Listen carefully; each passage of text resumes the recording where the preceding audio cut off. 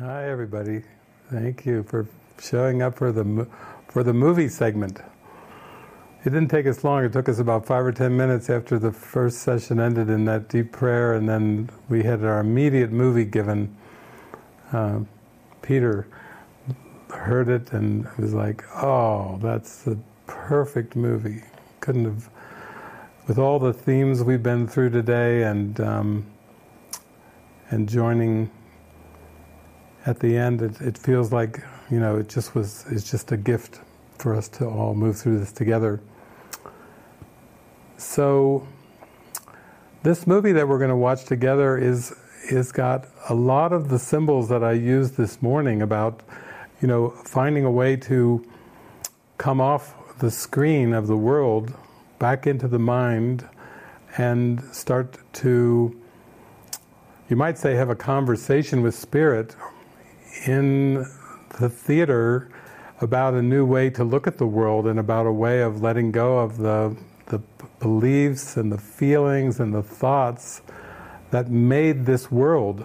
You know, all the dark attack thoughts that have generated this world of time and space, we have to find a way to come back into our mind to look at it anew. And it, oftentimes it does involve questioning, beginning to start to question what is it that I believe, and if I'm perceiving a dark or fearful world, if I have terror in my life, if I have anger, if I have hatred, if I have things that are playing out in the scenes of my earth life, uh, so-called earth life, then what what's going on in my mind that that would be the projection of, of this darkness. So today's movie is going to be a movie uh, in which the main character uh, has got issues with his father. And if we look at the Course in Miracles, Jesus talks about the ego as the father of illusions. So it's the father of this dark voice in our mind. You know that critical voice, that voice is saying you're not good enough, you never amount to anything, you're not going to be able to make it. It's that dark voice that says you aren't going to be able to forgive. You know, maybe it works for other people, but it doesn't work for you.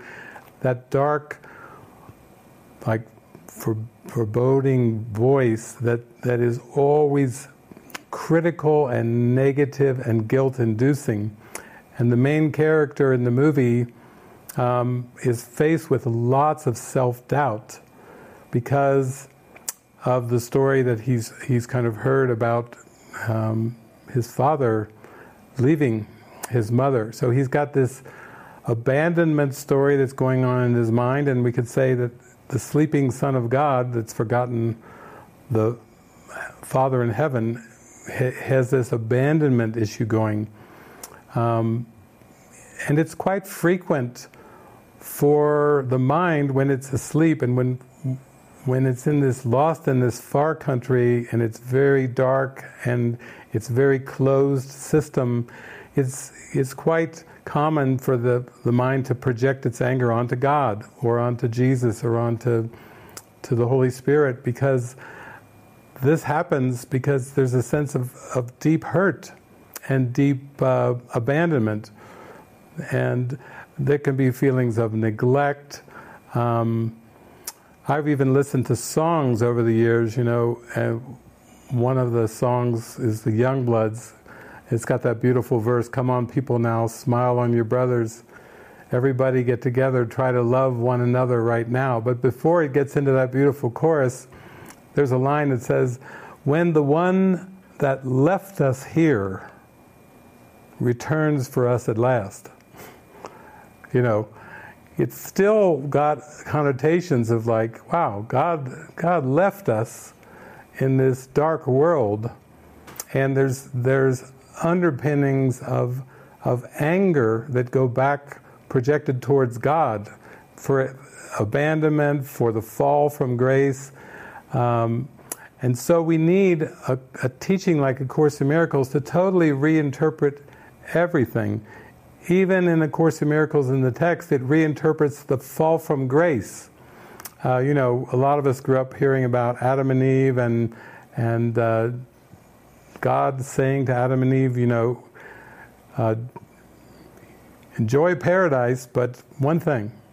I'm just going to tell you one thing I don't want you to do. Now, how many parents tell their children not to do something, you know, and then they do it uh, because just this rebellion, but it's like just don't eat from the tree of the knowledge of good and evil. Which the tree of the knowledge of good and evil is a great uh, metaphor for duality. Like, okay, there's paradise, but symbolically, don't take a bite out of the, the fruit from that tree, because if you bite into duality, if you believe in two-ness, you're going to lose the oneness. Well, it's a nice symbol, but in the Course in Miracles, Jesus said, God could never put his beloved in such a position. So, God had nothing to do with the tree of the knowledge of good and evil. Guess who made that up? The ego, as well as everything else, as well as all of time and space, as well as the flesh, as well as Adam and Eve. Everything, the ego made it up. And God, well, what do we say about God? Which just pure love, unending, eternal love and so, even the belief in the fall from grace, a lot of times people have a lot of anger at God uh, for how could God let this happen, or uh, how could I, uh, how could I return home? And some people have even said to me, if I ever wake up from this damn dream, who's to say I won't fall from grace again? I'm like, oh my God. I mean, I, if you if you heard the stuff that I've heard over the years of traveling around the world, but the Holy Spirit is the correction, and the Holy Spirit is like your divine insurance policy. if you listen to the Holy Spirit, you'll actually have the correction that the separation never happened, and of course. You won't fall again because you never fell in the first place. You know, that's the answer. you, you have to start to realize that there's a lot of projections that go on to God and the Holy Spirit but basically, God doesn't know of anything except love and perfection, and, and God doesn't know of time and space. The Holy Spirit was, was an eternal creation that, that is able to seemingly look upon the air and know that it's not real, which makes for a perfect bridge back to heaven. But, but even that aspect of the Holy Spirit that seems to look on the air, guess what? That's an illusion. and that part of the Holy Spirit that takes a voice because when, you need, when you're lost, you need a voice to guide you back. In heaven, there are no voices. It's just pure love. It's just pure nirvana, bliss, oneness. So this movie is good because it gets at, at some deep issues around abandonment. It gets at it gets at issues around sickness, around symptoms. It gets at, at issues of which voice are you believing is real uh, and listening to inside of, of your mind it's got a lot of father-son themes, which, um, yeah, I know, Frank, when you were sharing about about your lifetime this time, I know when I first met you, Frank, it, it was one of the things we talked about a lot was um, was the hurt and the pain that you felt around your son's suicide um, of a heroin over, overdose, and then your own struggles with with heroin. And you know, it was, I, I remember when you and I talked, it was like this thing like, gosh, you know, if I if I'd only been there, or I was in Europe and he was in California, and, and whatever the the situation was, you know, it's this sense of regret. Uh, recently, I was talking to Bob Rosenthal, and um, and I had lunch with him and his wife, Emmanuel, but Bob's coming out with with a new book uh, from from loving one to one love, and actually.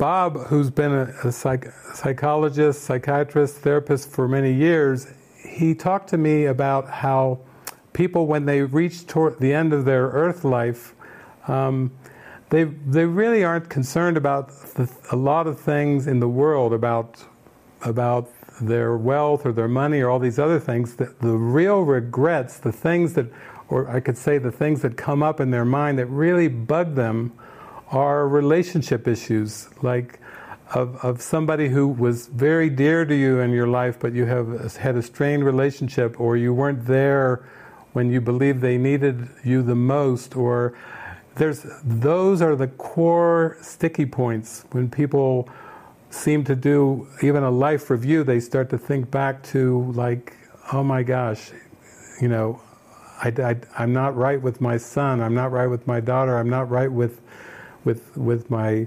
ex-wife or my wife there's something that is so heavy because there's a sense that somehow there was this connection and this love and somehow it got broken or or dist- distorted or something in some strange way. And that's that's like a regret. It's like a, a, a very deep regret that comes into the mind. And I think this movie in in particular is really good for healing that.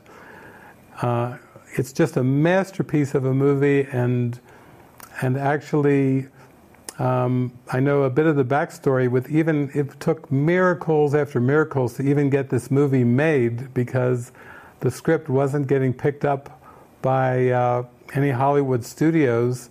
There wasn't any money to make the movie, and then uh, eventually um, the the man who plays the the son in this movie, I think he's also very instrumental in getting the whole movie made. He he met Kirk Douglas, and Kirk Douglas agreed to do the movie, and then miracle after miracle happened, and this movie miraculously got made. And then, of course, we were just talking in the studio here. I said, I think Kirk is still going. And we had to look it up. And he's 102 years old, and uh, the ego has not been able to kill him off. He he is still sparkling and shining at 102, and he's kind of like in the Truman Show you know, to the ego. Is that the best you can do? He's just going strong. So this movie was made years ago. Kirk looks old in this movie, but Kirk is still going. He's like, the ego's trying to pull the death wish thing on him, and he's like, no, thank you. And then we figured out how many years he's been married for 65. 64, 60, 60, 65 years.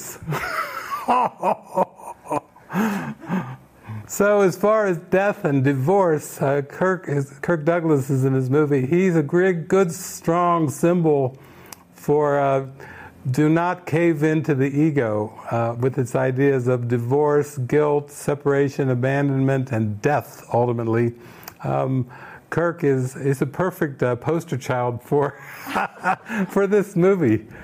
Oh, Kirk, if you were here, I'd give you the biggest hug. He's just amazing.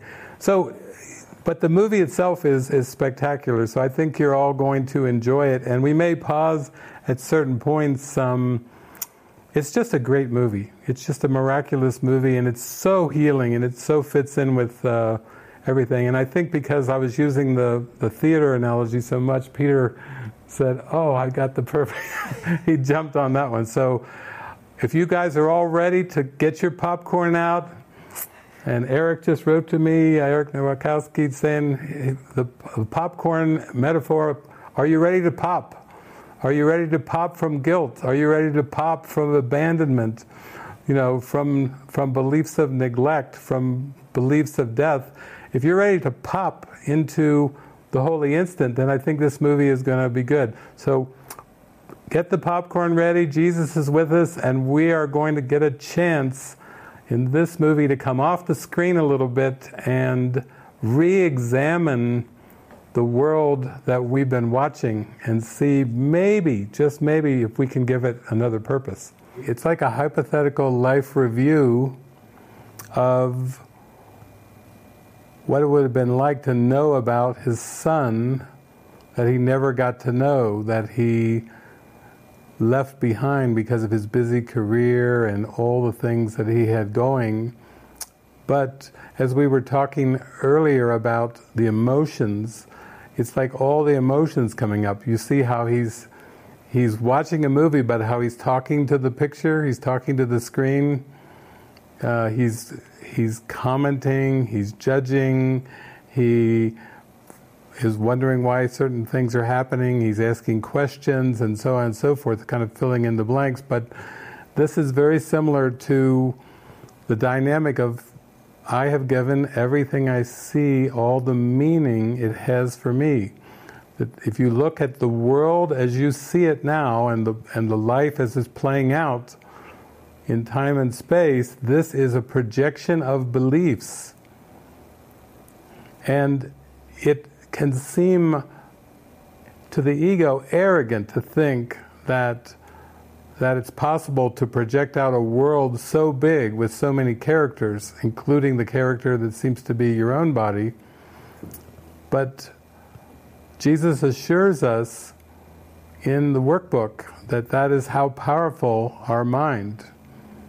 In fact, he goes so far in the workbook to say what happens is what I desire, and what I do not want to happen is what does not occur, you know. It's the mind is perceiving everything exactly as a motion picture of the mostly unconscious belief system. And, and then we react and respond to the, what seems to be our daily life as if it's happening to us as a dream character. And it's difficult. Uh, it's, it's, it's a difficult ride. But in A Course in Miracles, Jesus talks about the self concepts. He says that the self concept, this make believe self, fictitious self, has two tiers.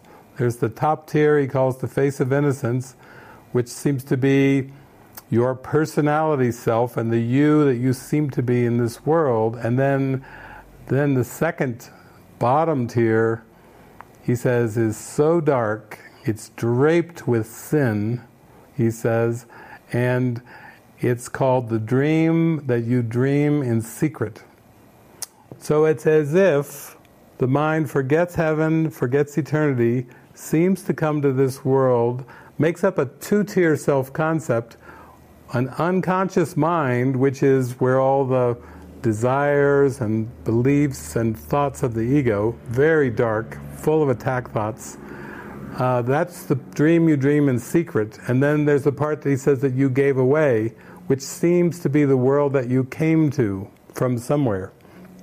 And you are this person that now has to survive in time and space, and that's only the surface of this entire scheme. And so, whatever you perceive happening on the surface is just a projection of what lies beneath. That's why when we were talking earlier, when I was talking to Sylvia and I was describing, you know, Sylvia, your issues with your neighbor, and this, you want it done, you want it healed, you want, you want to come back to God in alignment, but it's like this gnat that won't go away.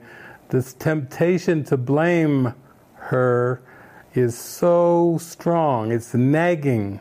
It's a nagging thing. The reason why it, it, it seems like you, you forcefully, determinedly try to dismiss it and it still is nagging at you is because anything that's in the unconscious mind is basically like running the whole show.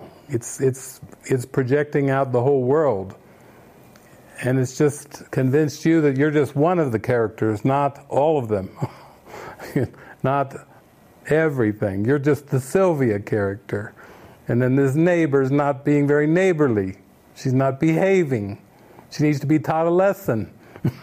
she needs somebody to really sit her down and tell her, come on, shape up, you know, this is not the way you're supposed to be and act to me. But but the ego is not letting you in on the unconscious mind. That that's the dream Jesus says the dream that you dream in secret. It's pushed out of awareness. It's it's stuffed down.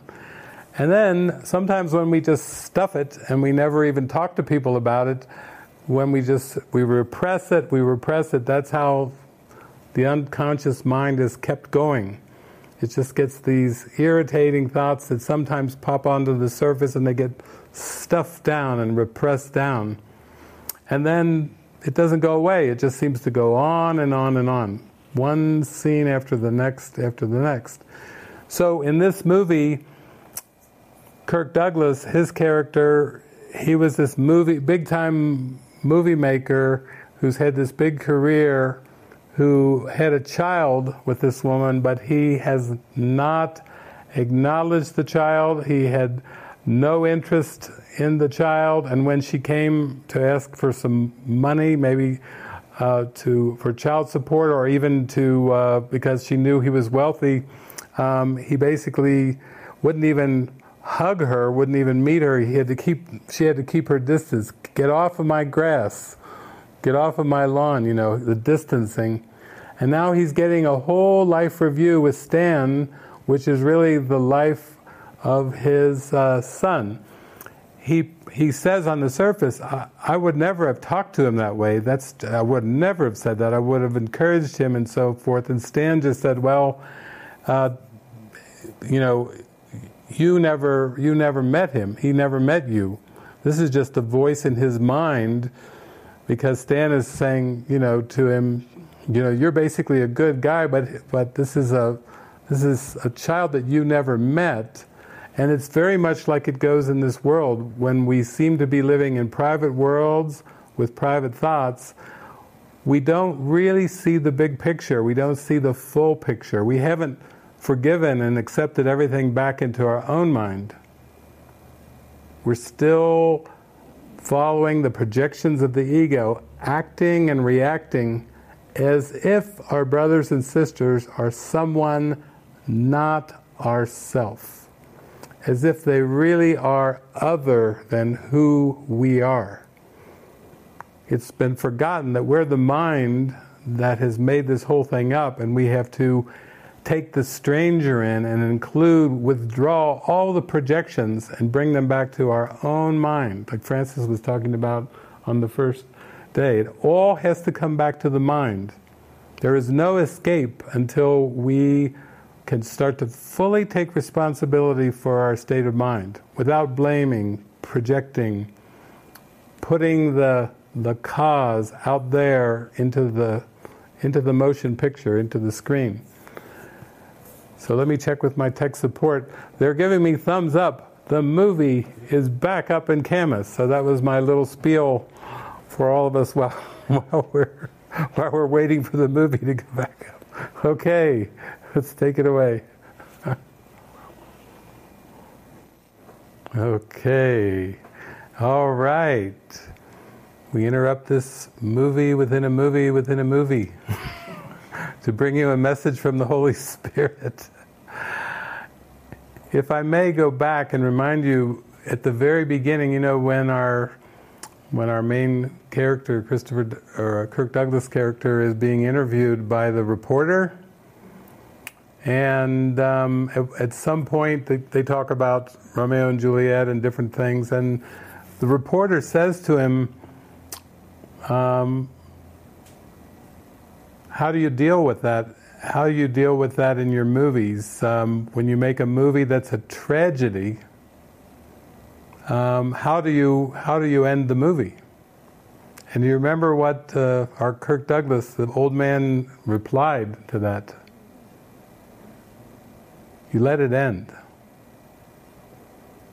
This world is a tragedy, and and the ego basically is saying you just got to survive and make it through from scene to scene and make it to the point and then for the ego you let it end. You just you just die at the end. You just struggle through what seems to be the trials and tribulations of this world a tragedy as Shakespeare might say and then you just let it end you just you just die now, Jesus and the Holy Spirit are in our mind and are going like, "Are you serious?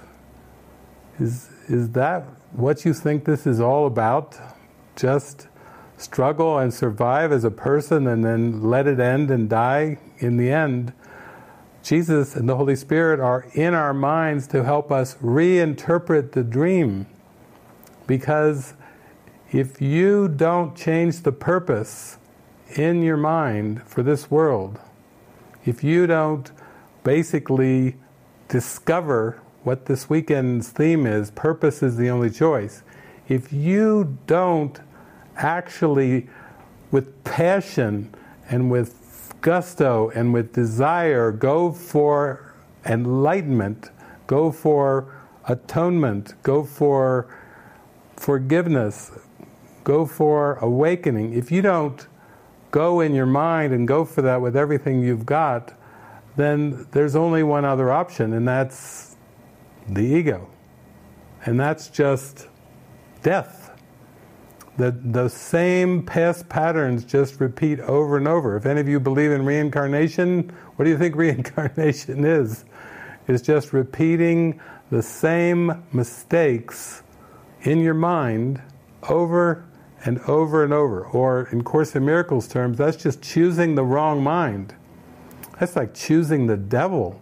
That's just like choosing to, to stay asleep, choosing to repeat the past, choosing to hold on to grievances instead of forgive, choosing to hold on to attack thoughts in the mind instead of releasing attack thoughts. So you've you've got this great help that's come along, and we'll just use the Course in Miracles as a metaphor for a minute because Jesus not only gives his his preface, his his introductions, he gives his 31 chapters, follows it up with a, a 365 day mind training program, and then a manual for teachers and a clarification of terms on top of that. And he's basically saying you don't even have to believe the workbook you may actively resist the workbook. You may fight against the workbook. It doesn't matter, just do it. Because that's the mind training. That's what's required to go back to the light, to release the darkness, to allow it up and out. And then he gives you 365 lessons, and it doesn't take him long. Starts off with nothing I see means anything. Number two, I've given everything I see all the meaning it has for me. But by the time you get to lesson 23, he spills the beans. He, he basically offers you the escape hatch from this tragedy, tragic world, make believe dream world. But already by lesson 23, he's offered you the escape hatch. He even uses the word escape he comes right out and tells you it's the escape hatch. Uh, in only lesson number 23 out of 365, he tells you, I can escape from the world I see by giving up attack thoughts. There it is. You know, judge not lest you be judged. Now he's, he's, he's given you a mind training program and he's showing the, the keys to escape the prison already in lesson 23. And he's just going to come back with that escape hatch over and over and over until you say yes to it, until you go for it. So now in this movie, remember that'll come back at the end of this movie because at the beginning the reporter says, What do you do with a tragedy in your movies? How, how do you deal with a tragedy? Uh, how do you handle a, a drama, a tragedy? And he says, yeah, you just let it end. He's just watching it play out, and there's no attempt to heal his feelings for his long lost son that he's never really got to know. He asked his his nurse assistant, um, "Do you have do you have children? Uh, is the father still around?" All these things, you know, he he brings it up. He asks it because he still has some deep feelings. He has hurts and wounds that still have not been allowed up to the surface, that still have not been brought up for healing. And his answer is, you just let it end, which is basically saying, hmm, it's a tragedy, but what else, what can you do? You know, it's basically his way of saying, well, yes, it's a tragedy, and in the end, you just succumb you just give in to the tragedy. And Jesus and the Holy Spirit in our mind going, What? Succumb to a death wish? You succumb to a life of pain and suffering and misery? You, you're going to succumb to a tragic experience called time and space when you, your Creator loves you so dearly Like the prodigal son story, the Creator will come rushing to meet you if you show the slightest bit of interest in waking up. What was that thing you said again? Overwhelming appeal. Overwhelming appeal. Francis is right here reminding me of that overwhelming appeal. God loves us so much that there's this overwhelming appeal for, for you to accept your function, for you to say, Yes, okay, I'll help in the wake up, I'll answer the call. The call's going on. You know, we have even strange teachings. I remember in the Bible, uh, when I used to ask about what's this thing about the Jewish people being the chosen ones? Why are the why are the Jewish people the chosen ones? And uh, Jesus reinterprets that. He even heals that one. He says, All are called, but few choose to listen. You see how that's a flipping of the chosen ones around? All are called. Every one of us is called, but few choose to listen. Few choose to say yes to the call. It's the greatest call there is. It's the call that will lead you to eternal happiness, but to the extent that you say, mm, just uh, let, let it end. Let this movie end uh, I'll just take my chances with the next one. Good luck. a death wish who just repeats the same tragedies over and over, lifetime after lifetime. And how do these so called lifetimes always end? Death. Well, that's a real nice, uh, happy ending. Struggle, struggle, survive, survive, and die. And then do it again. Struggle, struggle, survive, survive, die. Ah! I think maybe we're we're destined for something more than that. You know, I think actually there's got to be a wake up call uh, somewhere where we just go. I think ego. You know, I've been mind wandering and tolerant of uh, your death wish for quite a while, and you know, I've been playing by your rules and pretending that I'm your servant and. Uh, giving my body and my world over to you, ego, so you can glorify yourself and then die and then I die over and over and over. What do you get from a death wish? Death. Over and over and over. How do you paint, how do you, how do you make that drama happy? You don't. Jesus says in the Course, would you paint rosy lips on a skeleton? Well, he's, he's really like saying, would you dress it up? I know I'm in Mexico and it's the Day of the Dead and all this stuff. And but I am a happy guy. I'm a happy, a happy spirit, so I enjoy the makeup. I like to see the cute faces and the stitches and, and all the things they put on there and the white faces and everything. And I see the call for love underneath it is I see that they, they want to feel this love and connection even with those in their heritage that have passed on. They don't want to even push away the death. You're not going to find people dressing up like in Halloween, but but I mean, like they don't do quite quite the makeup. They really do the makeup well down here. I really like the Mexicans because there there's a love underneath it. They they want to remember the love. It's their way of of trying to connect with and remember the dearly beloveds and the dearly departed and those that have gone gone on. So in this movie, this whole movie is Stan our Holy Spirit character kind of showing up in in the main characters in, in Kirk Douglas's character's dreams, and he's giving him this life review. And in a movie theater, he even lets him drink coffee and smoke cigarettes.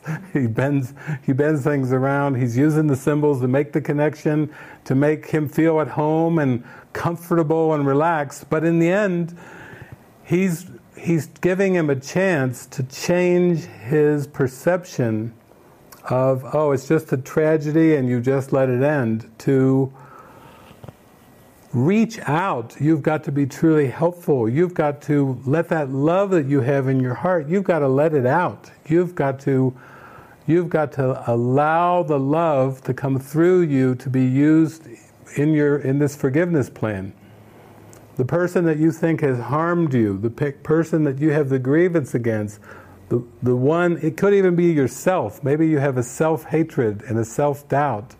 Oh, I never reached my potential. I, I, could never do this. I could never do that. I'm less than, I'm, I'm not worthy, I'm not worthy of love. All these crazy, crazy ego beliefs, you know, in the end, you do have to forgive them. You do have to release them because it's not who you really are. It's not who you've ever been. It's just, it's a make believe, fictitious movie or dream that seems to be very convincing while you're dreaming it until you actually can come all the way back and see that it's a dream, that it's not, it's not a reality. I, I have people tell me sometimes, David, get, get your head out of the clouds, get real. It's terrible. And I'm like, uh, I don't think that's real. Why don't we really be real? Why don't we be Christ real? Why don't we be eternal love real? That's what I'm talking about.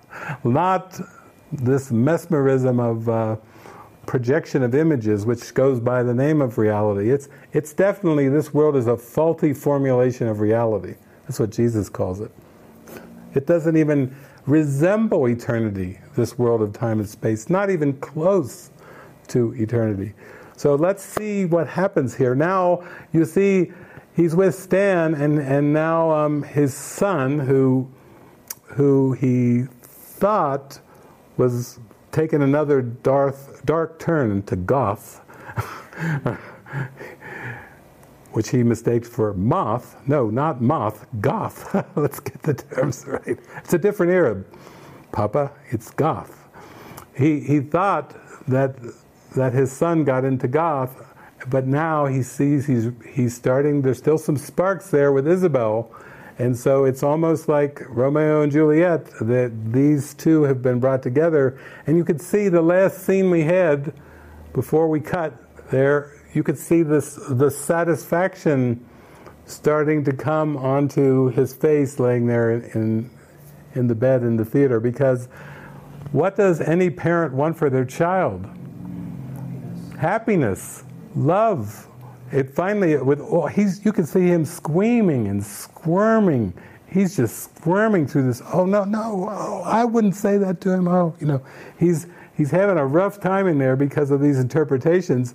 But now there's a nice kiss at the end of this wild scene with a march, a parade, and all kinds of wild things going on in the art district. But you can see him get a little bit calmer because now he's starting to, for himself, to feel the connection and the love. Through watching these scenes, these Akashic record scenes of his son's life. So he's making the turn. He's starting to have that love inside of him starting to come alive. You know, he's starting to feel the love himself as he's seeing these scenes. That's what Stan's about. That's what Jesus and the Holy Spirit are doing. Deep in our mind, in the theater they are helping us turn it around from, from hate to forgiveness. Now he's not apathetic. He's now he's getting sparked.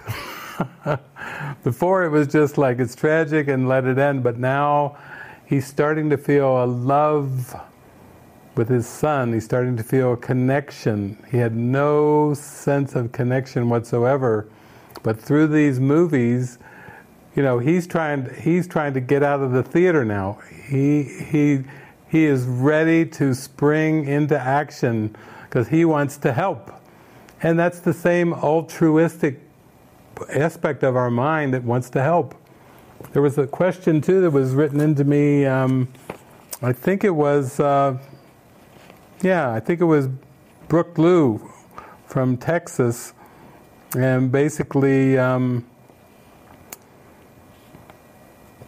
It was a great question. Brooke wrote in from Texas. He said, My question is if this world is my dream, are my brothers and sisters real?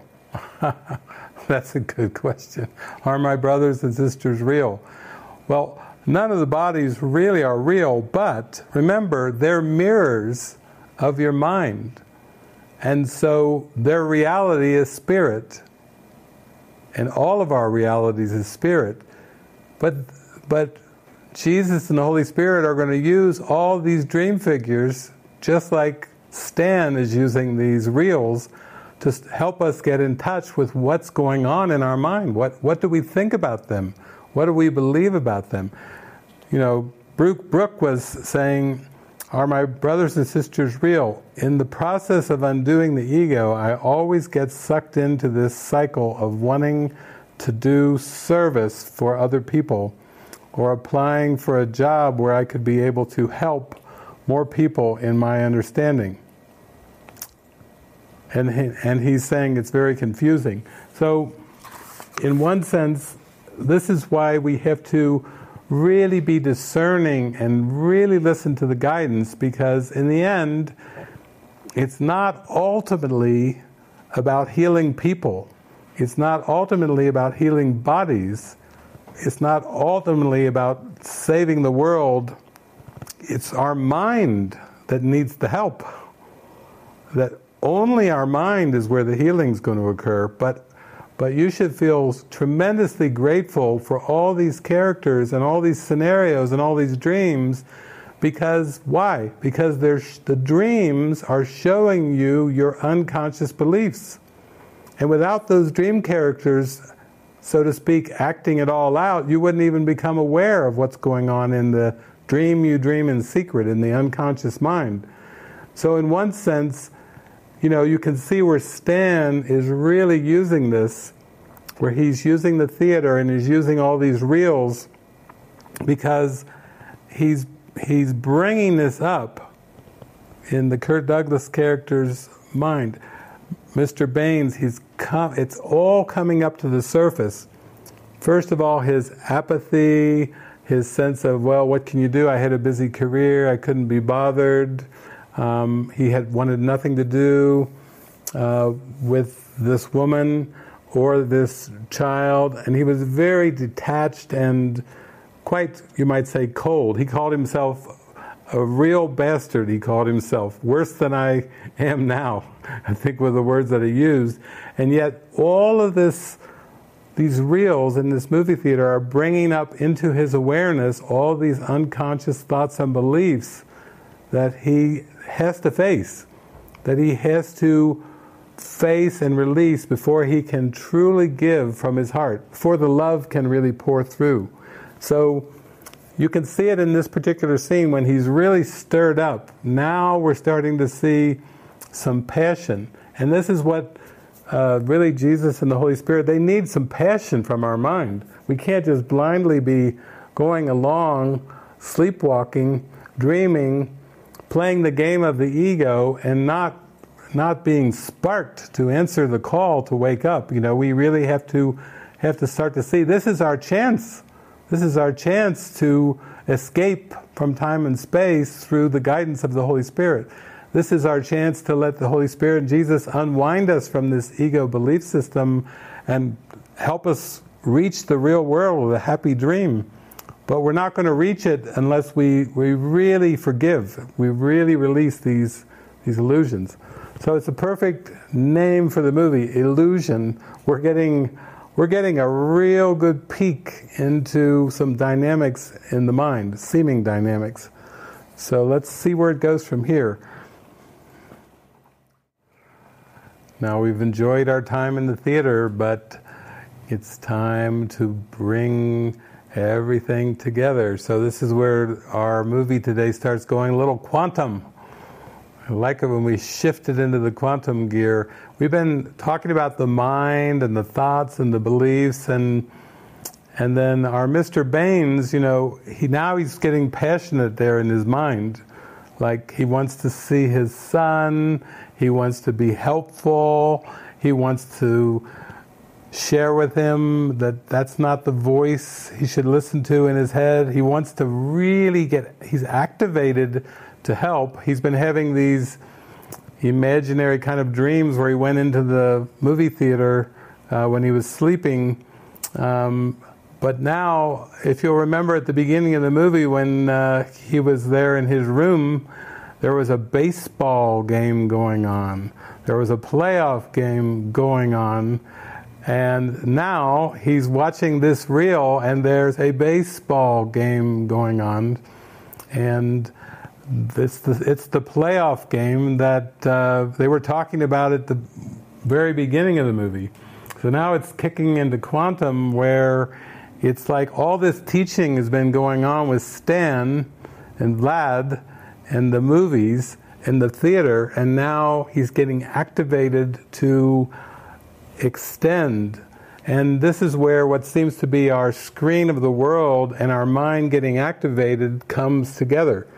What does that even mean? Well, it just means you start to realize that you're not some passive dream figure just floating around like a, a loose leaf or a feather, just getting blown around by the wind. Actually, that dream figure is part of your mind too. And all the dream figures are part of your mind. And that's where Jesus can activate us to, yes, allow the dream to be used for the Holy Spirit's purpose, for our only purpose. When we start to choose the purpose in our mind, remember when I was talking earlier, I was saying uh, with Laura, it's the body is not. Um, it, it, doesn't have its own motivations. It doesn't have it, uh, its own feelings. Like Francis was sharing last night, the body is just a means that can be used by the Holy Spirit as a communication device. The body's not an end. The body's not the purpose of this of of this world just so the body survives and then dies and then you get another body, you do it again, you die again, you get another body, you do it again, you die again, you do it in another body, you do it again, you die again. No, no, that's not the point. The point is to listen to the Holy Spirit, to get activated in your calling, activated in your purpose, so that the body, remember what you do comes from what you think. And if you start to think with the Holy Spirit and think with Jesus and think with your purpose of forgiveness, then the body will be used by that purpose in the plan of awakening. It will actually help you unwind from believing you're a body. But you have to allow the Spirit do it through you. So it's not you personally that's doing anything. That's like Francis was sharing before she came over uh, yesterday for the session, she wasn't doing anything. She said she was just, she was there in her apartment and she wasn't doing anything. And then she whoosh, she was over, overwhelmed by all this love. And then she came over, I saw her, she was crying. She caught in the car, she drove over and she poured her heart out with all of you, but she didn't prepare. She didn't she wasn't consciously like trying to do something with you. She was just in the prayer. In fact, you know, that's how it got in the whole session. It got into just this deep prayer. That's how the, the session worked its way to this deep prayer. Because she allowed the Holy Spirit to come through her, to use the body, to use the lips and the mouth to speak, to look right at you in the camera, to, to smile, to gaze at you, to feel the love and the presence, and the, and the body gets used by the Spirit. Now, in our movie here, basically, um, Mr. Baines is just this character. He's got trouble breathing, he's choking, he's in bed, he looks like he's dying at the beginning. And he's, there's a baseball game happening, as you remember, and, and the, the guy's got the San Francisco Giants hats on, and he's ready to to go out and run an errand, the big guy. And then when he falls asleep, he's given all this mind training. Uh, while he's sleeping and dreaming, the Spirit's working with him in, in that theater to see his son's life, to start to get activated, to start to face the things that he seems to have done in his life, to really look at his feelings and face his emotions. And now, at the end of the movie, here comes the quantum when you start to realize that if you give yourself over to Jesus and the Holy Spirit, you may get activated. You will get activated. It's not a may, you will get activated. You are getting activated right now because you have a function to fulfill. The Spirit will use what the ego made. We'll use that body, we'll use those skills, we'll use those abilities. Like I was saying with Daniela, you know, great, Daniela, I love that you can run 20 miles, you're fit, good. I love it. I can relate to that. That's, that's about twice as far as I ran. You're really fit. That's fantastic. And you have other ambitions and you have skills and abilities. But now, as everything starts to merge and you start to get activated in your purpose, it's more like, how can I serve the whole? How can I serve the whole universe? How can I help wake myself up with the Holy Spirit's help and, and wake all my brothers and sisters up with me. We all go together. You see, there's a purpose. Jesus didn't come here for, for 33, 36 years to just dilly dally on earth. You know, he came with a purpose. He got lit up. He was so lit up, he kept saying, My kingdom is not of this world. He was talking all about a heavenly spiritual kingdom that had nothing to do with time and space. But did he speak? Yes. Did he lay hands on people? Yes. Did the dead arise? Yes, more than once. Were the, did he send away leprosy, demons, you know, palsy, all kinds of things? Yes, he did. He could heal the sick and raise the dead. And what does he say in the Course in Miracles? In the, he says it in the 50 Miracle Principles. He says, You can heal the sick and raise the dead because you made sickness and death and can transcend them both. You know, you can you can you can abolish both sickness and death. You can literally, he says it in the, was it 22, 23? It's one of those early ones right in there. You can heal the sick and raise the dead. Because why? Because he's activated by the Holy Spirit. And now he's going to let that body be used by the Holy Spirit. Did the Holy Spirit use the body of Jesus? Hmm. Especially during those last three years. Wow. When he gave his mind over to the Holy Spirit, the Holy Spirit said, Let's put it into gear. Let's, let's put the pedal to the metal. Let's share the good news of the gospel. Let's heal the sick. Let's raise the dead. Let's point to the kingdom of heaven. And Jesus was, it was no longer a man speaking. It was no longer a man speaking at the end. It was, it was, I am the way, the truth, and the life. Does that sound like a man to you?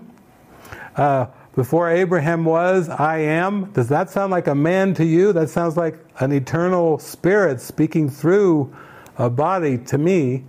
You know, he was he was lit up in God, in God's love, and he was allowing the Spirit to use that body as a communication device, like we've talked about, like Francis talked about last night. He just simply got lined up with the Holy Spirit, and that the Spirit, yes, he was dreaming the whole dream, but uh, but how it looked on on earth was that there was this character going around, and they were like, huh. He doesn't seem quite like us. I don't. He seems like us, but he's not like us. he seems like us, but he's doing things that are like otherworldly. You know, like completely otherworldly. That's how powerful the mind is. That's what we were saying. Francis was saying last night. The mind is so powerful that it's literally moving the planets. It's more than moving mountains, it's moving the spheres, it's moving the galaxies, Francis said. It's that powerful. And so, believe me, if you give it over, you will feel like you have dominion over the world. I remember that from the Bible. Jesus said, Be of good cheer, for I have overcome the world. He said that in the Bible. Does he say that in the Course? Oh, yes, he does. My self, capital self, is ruler of the universe. Same thing. I have dominion over the world. Myself is ruler of the universe. Capital self the, my Christ self is ruler of the universe. So it's all coming together. Now with Mr. Baines, he's getting his final final reel to watch his son. But remember, in his heart, he wants to connect. He wants more than that, he wants to help his son see that that dark voice that's been haunting him in his mind all of his life since he was a little boy is not his voice. Is he wants to help him see the love, to feel the love, to, to help him in some way. He said that to Stan. And then Stan said, okay, all right, enjoy the movie. So now here it gets quantum.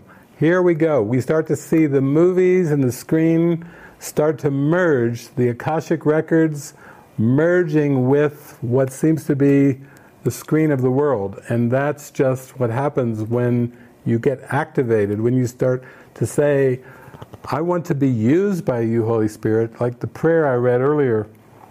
Use the symbols of the world to help free me from this dream. Use them. And, and what does that mean? It means that if Jesus calls me or the Holy Spirit calls me, I'm not going to be embarrassed. You don't have to go tell your neighbors and your partners and children, oh, I talked, I had a nice uh, weekend retreat with David, and uh, Jesus is telling me I'm, I'm the light of the world, so things are going to change around here a bit. Uh, you know, sorry, uh, I've got uh, some healing to do. I'm not just going to be the doing the dishes tonight and uh, scrubbing the floor. I've actually uh, got some healing missions uh, the Holy Spirit's going to send me on. It doesn't mean you have to go tell people.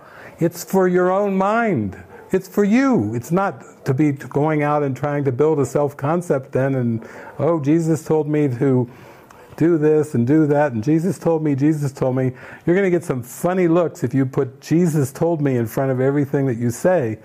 But I'm actually saying he's actually in there. He's really there and He's really reaching you in your mind and He really wants you to follow the guidances and follow the instructions not for him to escape anything because he's already escaped. This is this is your instructions like that old TV show Mission Impossible. This is mission possible.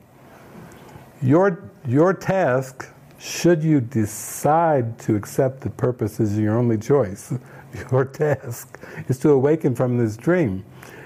And he's like Morpheus, I can guide you, but you must do exactly as I say. You need to get into the mode of listening and following this high intuitive guidance because that, in the end, is going to make all the difference. Well, I know Francis, I, all of us will talk, Jeffrey, Greg, all of us are going to talk about guidance. We're just, we're only, what are we, not even a little bit over halfway through. We still got time left. We're going to get into the guidance, but right now you're going to see that with Mr. Baines, he actually is getting activated, and this is where he's going to it's going to merge. The screen and the dream visions are are going to merge together.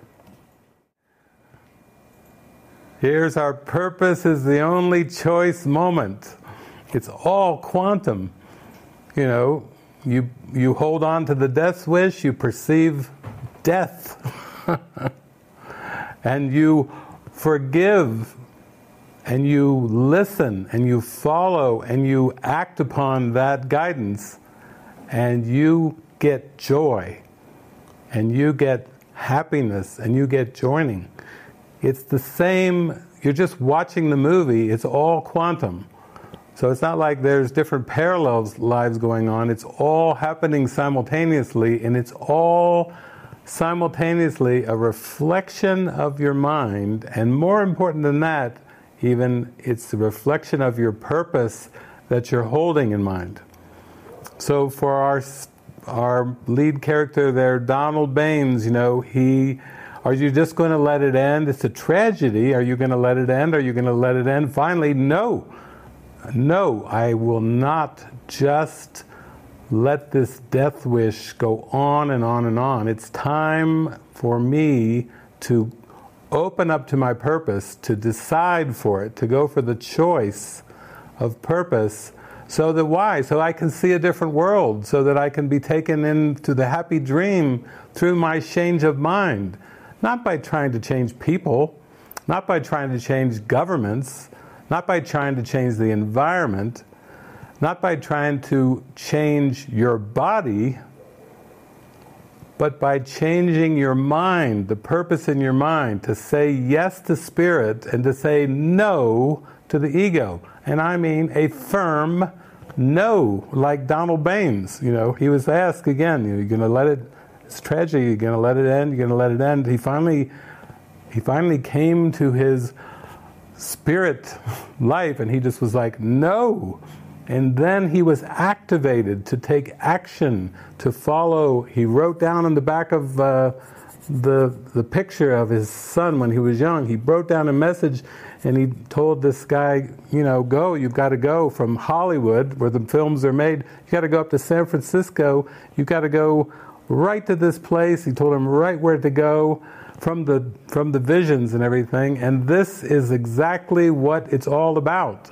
You've got to accept your purpose as a decision in mind.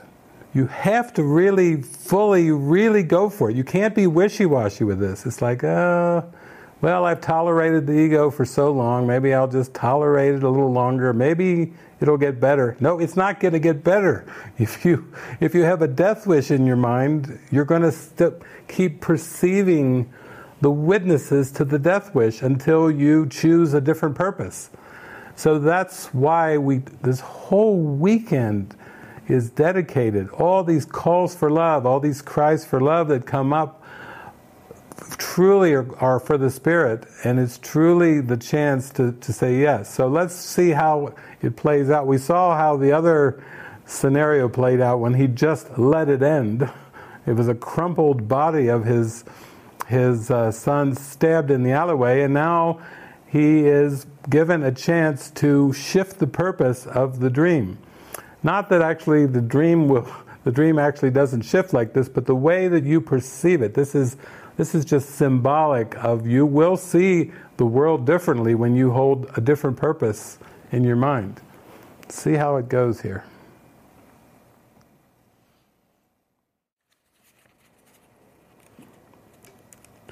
Well, that was a good one. That's on theme for us. Beautiful, beautiful, beautiful, beautiful. Really showing how we have to, we have we have to come back in our purpose.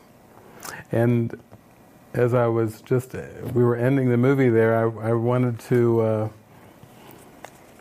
yeah, Muna, you were, you had that uh, experience. I really didn't get around to your uh, question there, but because I was so, uh, so exhilarated by that uh, experience that you shared, that you had. Um, a few years ago. I'll read it again because it's very applicable to this uh, movie and to our theme of the day. A few years ago, I woke up presumably a few seconds before I was supposed to, and I saw in my mind that the fourth generator the ego turns on every morning to make me believe I am in the world was not turned on yet. An ego slip up. And so I saw clearly what the ego does to convince me I am in the world. I can also see the world as a massive screen hiding something behind it. So I pray to God for the veil to lift so I can connect with reality constantly. That's the rest of the story. That's the rest. It's like a prayer. It's like a miracle, and then that's how the prayer, the prayer for all of us in the retreat. That's how it, how it ended. And so, what precedes it is you're just pouring your heart out of saying that that there seems to be no constancy in my heart for more than a few seconds. The prayer ends with, So I pray to God for the veil to lift so I can connect with reality constantly. And then it starts off with this that's where the pouring your heart out, that's where the transparency comes in. You know, it's like Frances is sitting here right next to me, and I don't some of you have not seen her movie yet, you know, Take Me Home. But she received a, a dream uh, six years, was it six years before the movie? Before the, before the making of the movie, she received in a dream that she would make a movie. And so she was kind of on alert Uh, but basically, every time she got concerned about this dream and how it would happen and when and where and with whom and everything, Jesus would say, no, It's already done. Like it's already done. It's already done. It's already done. It's already like the movies of the world, they're already done. The illusions have ended. There, there is an end. And the Holy Spirit corrected the whole belief in separation the instant, simultaneously, when it seemed to happen. And so now, even though it took less than a second to heal the belief in separation, the acceptance of that correction can seem to take millions of years, actually. The, the resistance to accepting that correction. So, in, instead of trying to work it out, because sometimes your mind gets very, tries to be precise and mathematical, almost like you're trying to, you're in a chess game with the ego, and you're moving your pieces and trying to make the right moves so, so you don't get checkmate against you from the death wish. You know, you don't want to make a slip up uh, playing that chess game.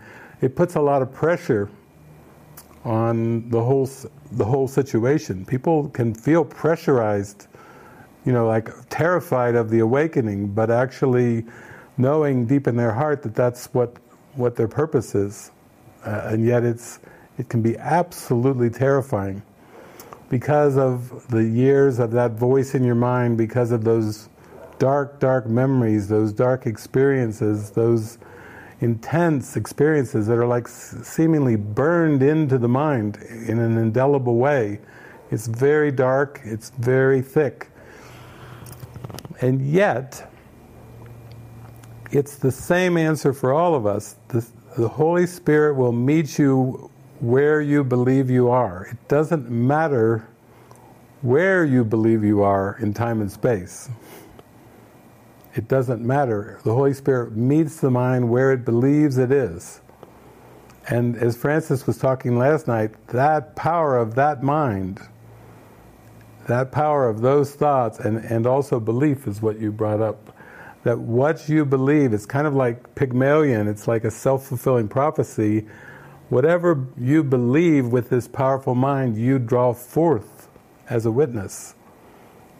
As you sow, so shall you reap. You know, giving and receiving are the same. The world that seems to be outside is just a reflection of actually what is within, and that's why it takes such a focus to go within.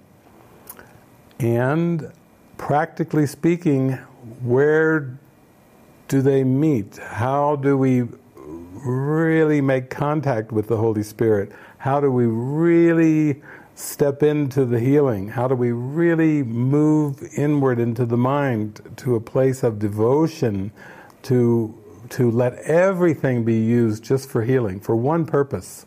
The only purpose of anything is is for healing, is for the mind waking up. That's the only purpose that the Holy Spirit has for the world. The Holy Spirit has no other purpose other than the healing in the mind, other than the waking up. So ultimately, that's when we say purpose is the only choice, that is your inroad to guidance. Because if, if your mind is, is addicted to form, or if you feel so caught up in the roles and the the illusion seems to be very thick in your mind. You seem to be in some kind of a hypnotic, mesmer, mesmerized state where you are wondering and confused with what am I going to do and with my life. Many of these questions are here's what's going on for me in my experience. Can you help me? Can the Spirit help me? Can the Spirit reach me in this state of mind that I seem to find myself, which is perplexing and frustrating and confusing, and it feels very schizophrenic at times, it feels psychotic at times. Can you reach me? And that is through the guidance. That's like in the movie when he becomes activated and he says no to the ego through this burst of love through this miracle, then it's a washing away of this old voice, of these old thoughts and these old ideas.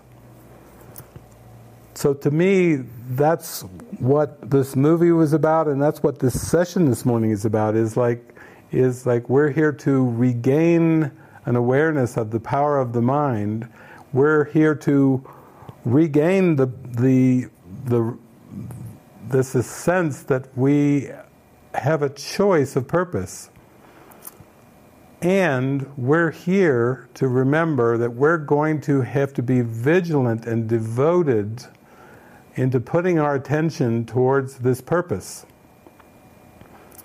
I practiced, I know when I first got the Course and I started reading the Course, I just thought, okay, I'm, I'm starting to get the gist of this, Jesus. Like, I, I had that prayer at the beginning of the book back in the days when there was just one version of A Course in Miracles. It was on page 24.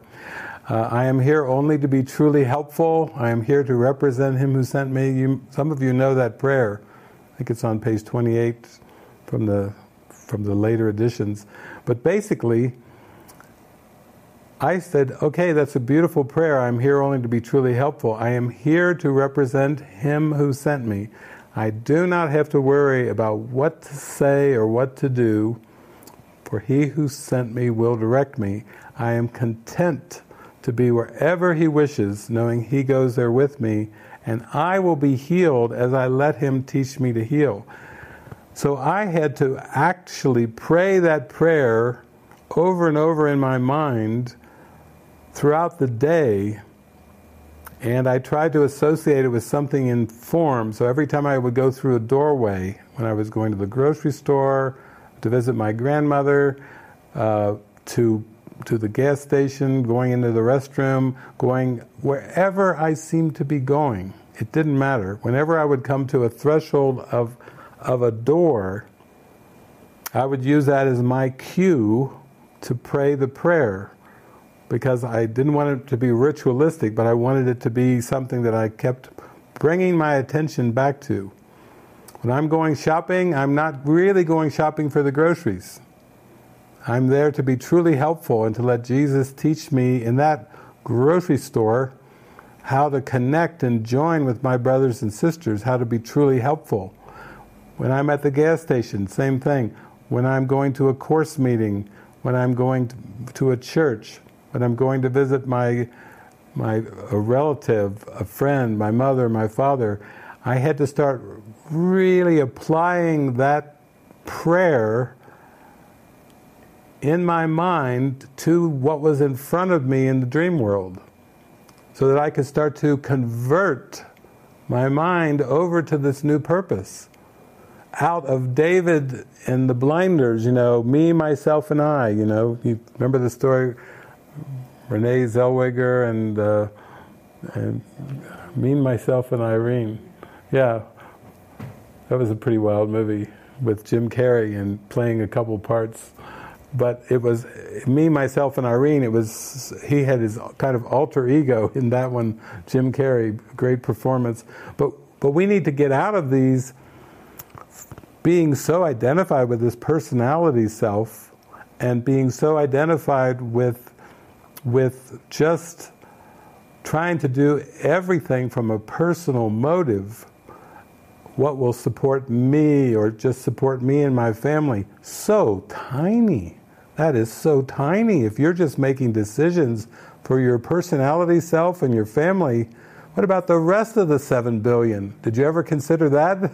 Maybe you, your mind has a, a calling that will bless all seven billion with your miracles. It will, it will reach out and spread all across the whole world, across the universe, across the universes of universes, your mind is that powerful, and, and that means that instead of basing your future life on the past and your past preferences, what you wanted, your past ambitions, future goals, you know, that was one of the things that, that Frances addressed when you started talking about goals. I remember one of the questions was about what about my goals? Can, can I have goals for things in this world and can I have purpose? Well, as long as you believe in those goals of the world, I'll tell you right now, they're coming from the self concept. Those are generated by the ego. All goals of the future are generated by the ego. And, and I think somewhere we, all, we, we already know that intuitively. Holly, you're down there in Brisbane, you, you know that going for that PhD is not necessarily your entry point into eternity, but it's you're putting a pretty good energy into that, into that PhD. But that's a future goal. That's just an example. And we could go through all of these. You know, there's everybody has future goals. Everybody has ambitions. That's what it means to be part of the human condition. However, it's how willing am I to say, I am ready to be activated, and I know, Jesus, you will use all my education, all my learning, all my skills and abilities, even though they were developed under the ego's framework, that's, they were made by the ego, if I give them over, if I say, they're yours, Jesus, you pull the puppet strings, you use the skills. Like Marina's here, she's been using her bilingual Spanish English skills, and she's take a she took a plane ride from Argentina and she came to Mexico and then all the brothers and sisters in Mexico went, "Yay, Marina's here. We can't speak Spanish. we we need somebody who can help translate our words and to help us hear Spanish words translated into English. You know, there's a great rejoicing that went up all around in Lake Chapala. and we've been rejoicing ever since, too. We, the party hasn't even stopped. I guess there's no way to move the camera over on you, but there she's just sitting right over here. You just have my mug on the screen, but she there. You can wave to her. She's right. Oh, here we go. So, switch. switch.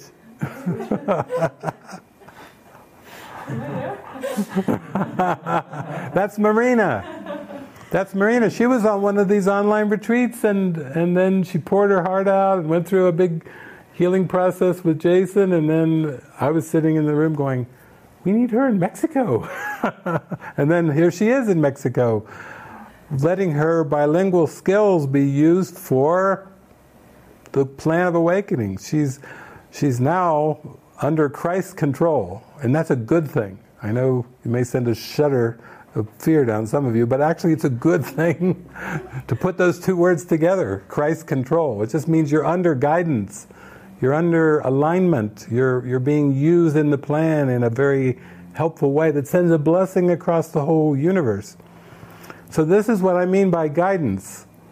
Grace, you're there. I mean, you've been working to be a doctor. That's when you first called me. I was, I was sitting in a room down here in Mexico, and I'm sitting there, and then my phone starts ringing, and uh, I, I had it on silent. Actually, to all honesty, I keep my phone on silent. So, but I'm sitting there, and all of a sudden, my eyes turned to my phone, and I see someone's someone's calling me on the phone and, and it's and then it, so I called Grace back and we she's like oh I'm I'm an intern I mean I'm I'm in medical school and things are not working and I'm I'm trying to pass all these standards and these marks and for some strange reason I keep failing one aspect of the thing that I should be passing and it's starting to get to me I'm starting to wonder something fishy is going on. I, everybody's telling me, you're smart, you're brilliant, you should be able to pass that with the breeze,